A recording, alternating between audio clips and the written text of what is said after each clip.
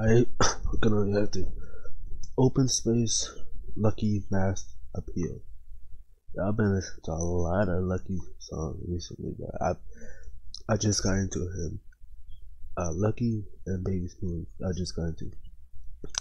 All thanks to uh, Blue struck him off.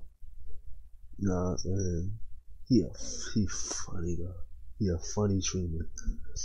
Yeah, but um, he put me on to Bruce and Lucki. I mean, not. He put me on to Lucki and Baby Smoove, and now I've been just looking, listening mad songs of them and shit.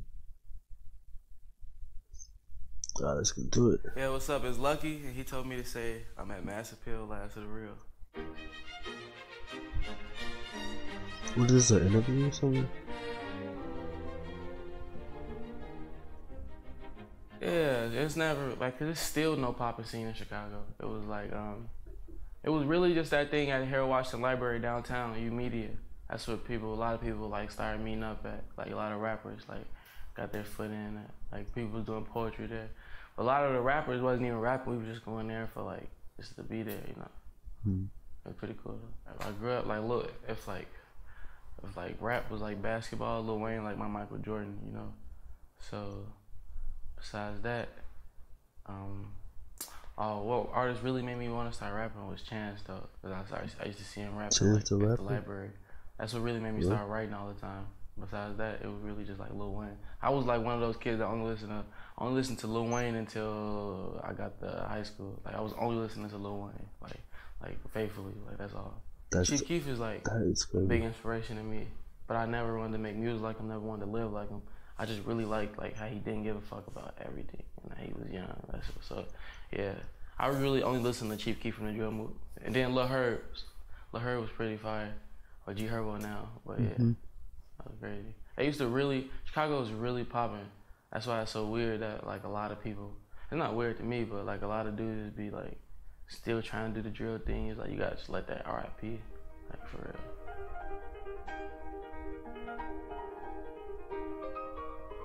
Thoughts when I was like SoundCloud? 17, 18, like I didn't know I didn't know what to call it. Like I didn't know like we didn't know what to call it. But I don't really don't like SoundCloud rap. Like that's why I really I mean it's cool, but I separate myself from that because it's like I really got songs with like FKA twigs, King Krule, you know, like Pharrell used to tweet my music. Like Yeah. Scott Venner was my first manager. Like I'm totally not SoundCloud rap.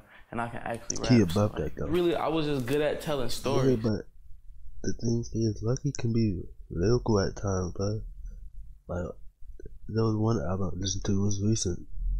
It was um, was it 2017 album? Like he had some lyrical stuff on there. The song was like three minutes, four minutes long, or like his now, which would be like two minutes max or some shit. I, I can probably find it here or something like that. Alternative Trap. That's what it was. This one, uh, three minute songs and above. Four, his first song was four minutes, and now I don't think he even had a song that is above two and a half.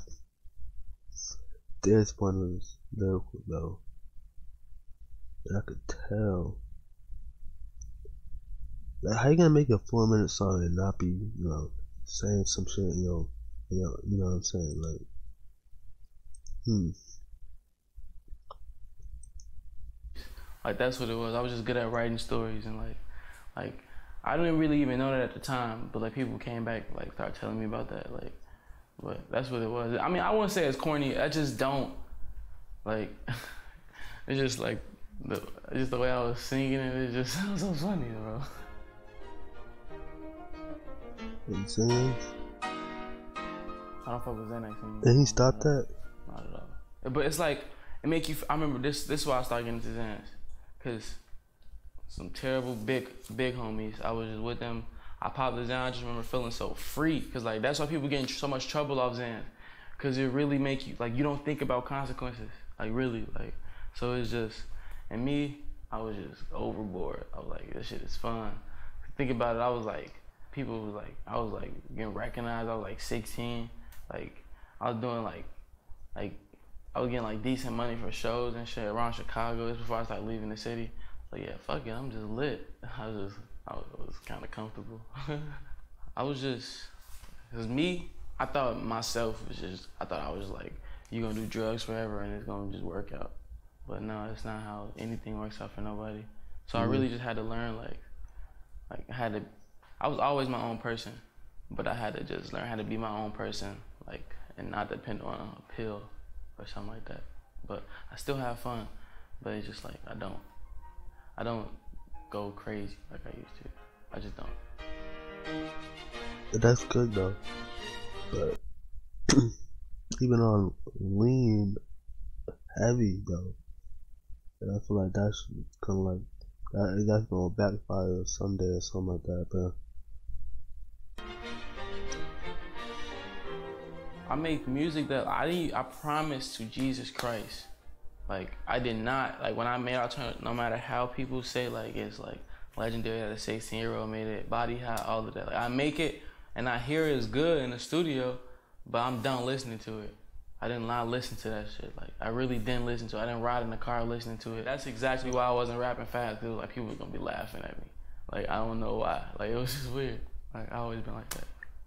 I just put out Watch My Back last month my favorite project.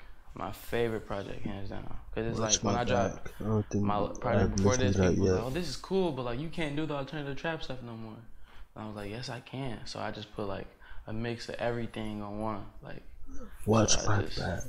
I really love this project, and people really like the project too. It's going crazy. So oh wait, yeah, I appreciate I everybody fucking with it. I'm looking forward to. I'm really just looking forward to. I ain't really listen to it like that, but like, like Cause I, I was doing some at the time and I was listening to it. I wasn't really paying attention. I need to listen to that again. And to continue releasing the best music. Like everybody releasing good music is cool, but I mean, I can do SoundCloud rap. Um, I can do regular rap. The like Earl Sweatshirt, the goat. I can you know like when I rap like Earl, it's fire, bro. Like I love rapping like Earl, like like that type of style. Like that's my favorite. That's why that's my that's getting back to my roots type shit. Like rapping over those gritty ass beats type shit. That's what it is. Damn. But that's the, that's the good thing about Lucki though. He got so many styles. He can uh, do whatever flow he want. He can switch it up. And stuff like that. That's what made me get into it. Shout out Mass Appeal. Subscribe to them, like, comment, you know what I'm saying, share.